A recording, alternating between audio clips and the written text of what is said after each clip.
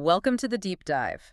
Today, we're cutting into a topic that, well, it often sparks some pretty lively discussions in the OR distal digital replantation. Yeah, definitely. For you, the plastic surgery residents and attendings listening, our mission today is to uh, slice through some of those long-held assumptions Right. and arm you with the latest evidence, stuff you can actually use in your practice. Precisely. We're really zeroing in on a key systematic review today. It's a systematic review of the outcomes of replantation of distal digital amputation by Sebastin and Chung from 2011. Okay.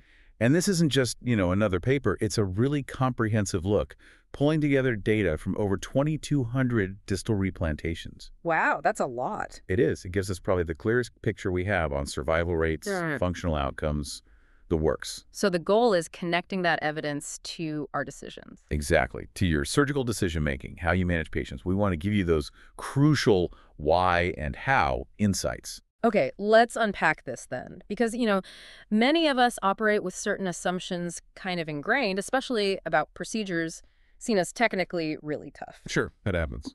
But this paper, it seems to powerfully show that some of our beliefs, specifically about distal digital replantation, maybe aren't built on the strongest scientific evidence. That's right. And in our field, that's, well, it's critical to explore that, isn't it? Especially when we're making daily clinical calls. Absolutely. Critical. So before we dive into the uh, the hard numbers, let's maybe talk about the elephant in the room. You know, the thing that's influenced maybe our mentors or even our own first thoughts on this. You mean the view on single-digit replants? Yeah, exactly. That long-standing viewpoint about replanting single digits, particularly those proximal to the FDS insertion. Right, the contraindication. The paper reminds us that kind of replant in adults is often contraindicated, right? Because of that risk of a stiff PIP joint messing up the whole hand function. Exactly. But what's fascinating here is the distinction the authors make. They suggest distal replantations are actually more like a DIP joint fusion, physiologically speaking. Hmm, okay. How so? Well, a DIP fusion still lets the PIP joint move freely. It maintains that crucial motion. Right, okay, I see. Yet despite this, distal replantation isn't done as much as you might think it would be. So why not? If it preserves PIP motion. That's the big question the paper raises. Yeah. Why the hesitation?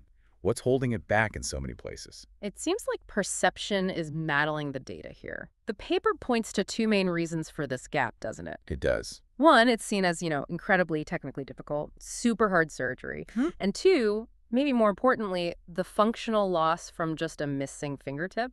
Mm-hmm. It's often just dismissed, seen as negligible. Yeah, well, it's just the tip. That kind of thinking. Exactly. So this perception that it's both too hard and maybe not worth the effort, that's what we need to scrutinize today. Indeed.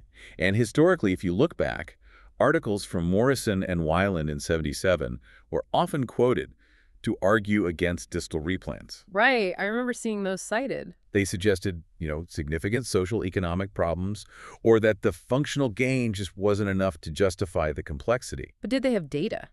Well, that's the key point this review makes. Those foundational papers didn't actually present data to back up those specific objections. Ah, okay. And later reports, like Urbaniak in 85 and others since then, have actually affirmed that single-digit amputations distal to the FDS insertion should be considered for replantation. So the thinking evolved, but maybe the perception lagged behind. Precisely. That historical context helps explain why we might still bump into those older ideas today. Okay, so given that history and the real technical challenges, how do you study something like this rigorously? A randomized controlled trial seems, well, impossible, ethically speaking. You're absolutely right. It's not feasible. So a systematic review really becomes the only way to pull together the best evidence we have, looking across many different experiences. Makes sense. And this study, they were strict. They had clear inclusion criteria. Needed primary data. Studies had to report on five or more distal replantations, single or multiple digits. And survival rates. And crucially, yes, reported survival rates. They really scoured the English literature from 65 right up to 2010. They aimed for a really comprehensive, unbiased view. And what specific data points were they pulling out? For you know, for us prepping for boards or managing these cases, knowing the metrics is key to using the results. Oh, they were meticulous. That's what makes this review so clinically useful. They got demographics, number, and level of amputations using Tamai zones, You know, zone IKIP to nail base, zone 2 DIPJ to nail Ah, base. standard classification. Right. And critically, the type of injury, clean cut, crush cut, crush avulsion, which digit? Injury mechanism is huge. Absolutely. The intraop details, venous outflow techniques, vein grafting, nerve repair, was it done or not? Got it. And outcomes. Outcomes weren't just survival, they looked at objective stuff. Sensibility, specifically two-point discrimination range of motion, return to work stats, and importantly, complications like pulp atrophy or nail issues. Wow, that is incredibly thorough. So putting it all together, 30 studies, over 2,200 replants. What's the big picture? What's the headline finding? Okay, here's the undeniable headline for your practice. Mm. The mean overall survival rate for distal digital replantations was 86%. 86%. That's actually really high. It's remarkably high. It puts it right up there with, maybe even better than, the 80 to 90% survival reported for more proximal replants. So that directly challenges that old skepticism, doesn't it? That distal cases just don't do as well. Directly refutes it. That data's strong. Okay, 86% is powerful. But let me play devil's advocate for a second. Did they find any subgroups or factors that do lead to worse outcomes, beyond just the injury type, like comorbidities or anything? That's a fair question. The study focused mainly on the factors reported in the included papers. While comorbidities weren't a central analysis point across all studies, the type of injury was definitely the major factor influencing survival that they highlighted. Right, the injury type. And what about the level zone I versus zone 2? Did that matter for survival? Interestingly, no. The data showed no significant difference in survival between Zone 1 and Zone 2 replantations. Okay, that's a key pearl right there. The level itself within the distal area isn't the main predictor. Correct. But the injury type, that made a huge difference. Clean-cut amputations did much better, 92% survival, Wow. compared to crush-cut at 80%, and crush avulsion injuries, which dropped down to 75%. Okay, so for us in practice, that initial assessment of how it happened is critical for prognosis and talking to the patient. Absolutely. It helps you manage expectations right from the start. That's super valuable, especially for residents building that clinical judgment. Now let's talk about uh, the big challenge, venous outflow. Those tiny distal vessels. The bane of the microsurgeon's existence sometimes. Exactly. What did the review find about tackling that, especially in these really distal zones? Well, this study provides some really compelling evidence here. Repairing a vein significantly boosted survival, and that was true in both Zone 1 and Zone 2. Both zones, even zone one. Yes. For Zone 1, survival was 92% with vein repair versus 83% without. Big difference. And in Zone 2, it was 88% with vein repair versus 78% without. So this really pushes back against some older ideas, maybe, that vein repair in zonal I, wasn't as critical or maybe even possible consistently. It directly contradicts some of those less robust older findings, yeah. So the clinical takeaway is crystal clear. If you can find a vein, repair it. Even way out into my zone one, it matters. Absolutely. Despite the technical difficulty, the effort pays off in survival. Okay. And besides direct repair, what other tricks were used for venous congestion? How do they compare? Direct vein repair was done in about 63% of cases, and it definitely had the strongest evidence for improving survival. Yeah. But yeah, surgeons used other methods too. Things like um, external bleeding, Mm-hmm. you know, small incision to let it ooze leeches, sometimes ligating a digital artery, AV anastomosis, even placing the digit in a dermal pocket temporarily. Right. The toolbox? Exactly. Shows the ingenuity needed. Yeah. But again, the data really points to direct vein repair as the gold standard for maximizing survival chances. It makes sense. Survival is step one. But the big question for the patient and for us is function, right? Does the replanted digit actually work? Crucial point. And the functional outcomes reported are actually very encouraging. Like right. The mean two-point discrimination was reported as 7 millimeter. Seven millimeters. Right. Okay, that's good protective sensation. Exactly. Really important for actually using the hand, feeling things, avoiding injury. It Yeah. tells you the digit is truly functional, not just alive. Now, here's something that sounds like a potential game changer for planning surgery, maybe a key pearl for residents. What about nerve repair? We always aim to fix everything. We do. That's the instinct. But what did the review find about nerve repair specifically in these distal replants? This was actually a really significant finding. Nerve repair was performed in less than half of the reported replantation. Less than half. Wow. Yet, despite that, the average two-point discrimination was still that excellent 7 millimeter. So, nerve repair isn't essential for good sensation distally. The data strongly suggests it's not essential for regaining protective sensation in these very distal injuries. How does that work? Well, the authors suggest a couple of reasons. One, it's a very short distance for those purely sensory digital nerves to regenerate. And two, this phenomenon of uh, adjacent or spontaneous neurotization. Basically, nearby nerves can grow, and especially in younger patients. Fascinating. So for you in the OR, this means you might be able to simplify the procedure somewhat, save time, without necessarily compromising that key functional outcome of protective sensation. That's a huge practical point. It definitely makes you rethink the absolute necessity in every single case. What about complications, though? Beyond survival and sensation. Right, important to counsel patients properly. The outcomes are generally good, but complications do happen. Pulp atrophy was noted in about 14% of patients. Okay, some thinning of the pulp. And nail deformity was more common, around 23%. Hmm, nearly a quarter. So these are definitely things to discuss thoroughly during consent. Interestingly, the study by Han and Young, which had a lot of patients, especially zone I cases, they specifically recommended repairing as many veins as possible, partly to reduce these complications. Ah, so good outflow helps minimize those secondary issues too. Seems like it.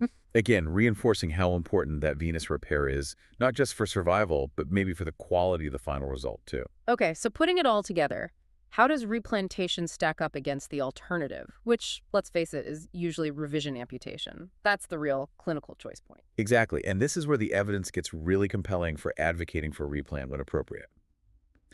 The paper cites a 2006 study by Hattori and colleagues. What did they find? They directly compared functional outcomes. Distal fingertip replantation versus revision amputation. They found no difference in grip strength, interestingly. Okay. But the replantation group had significantly greater active flexion of the PIP joint, less pain, and better DASH scores. You know, the disabilities of the arm, shoulder, and hand questionnaire. Better function and less disability. Yes, and maybe just as telling, patients with replanted fingers were more likely to report always using the affected digit for daily activities. That speaks volumes, doesn't it? It really does. It strongly suggests replantation offers not just a cosmetic benefit, but a genuinely superior functional outcome. Directly challenges that old idea that revision amputation has minimal functional impact. Okay, so the evidence seems strong for replantation being valuable. But it requires that very specific high-level skill set. The paper mentions something about where this expertise is concentrated. It did, and it's quite striking. Almost 70% of the distal replantations reported in the literature they reviewed came from centers in Asia. 70%? Wow. Why is that? The authors suggest a few factors. Possibly cultural values, like Confucian ideals emphasizing body integrity, but also, critically, a concentration of highly experienced microsurgeons and dedicated centers. This isn't just microsurgery. They call it super microsurgery. Sure, microsurgery. It implies an exceptionally high level of skill, specialized training, and likely volume. So for us, for the residents and attendings listening who are maybe in North America or Europe or elsewhere, what's the implication here? Well, it clearly highlights a need, doesn't it? A need to develop similar specialty centers outside of Asia? Is transfer feasible ischemia time. That's a good point. The warm ischemia time is actually less critical for these very distal parts compared to more yeah. proximal amputations. Yeah. So transfer to a specialized center is often quite feasible. Okay. But the paper also warns about that potential vicious cycle. If you don't do the procedure often, you don't build expertise, outcomes might suffer, which discourages doing it. You see the loop. Yeah, the classic low volume problem. Exactly. So for those involved in training or setting up services, it really suggests a call to action we need dedicated training, maybe fellowships focused on supramicrosurgery, to build that expertise and break the cycle. We need to make this beneficial procedure more widely available. This whole deep dive has really um, challenged some perceptions that I think many of us encountered in training or still here. Definitely. That idea that distal replant is just too hard, not much functional gain, while revision amputation is easy, chief, minimal loss. Oh it just doesn't seem to hold up to the evidence presented here. It really doesn't. And the authors make another critical point about the evidence base or lack thereof. What's that? They point out this glaring gap. There's basically no solid outcomes data published on revision amputation itself. Really? None?